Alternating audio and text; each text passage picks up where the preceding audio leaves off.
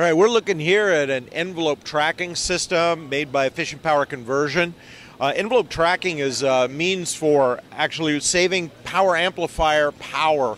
If you look at the envelope of an amplitude modulated RF signal, which you see down here, everything in red would be dissipating energy unless you can create a power supply that can precisely track it. And this has been uh, around since 1928, but it hasn't been until gallium nitride devices, particularly eGaN from EPC, came around that people have been able to do it. Uh, now, here is our demonstration board showing a four phase envelope tracking power supply, each phase running at 25 megahertz.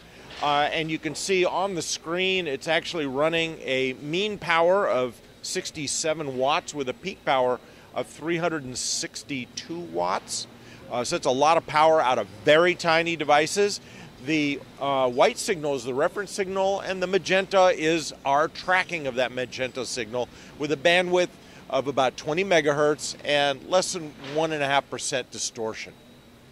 This is used in base stations, mini stations, micro stations, and airborne uh, stations.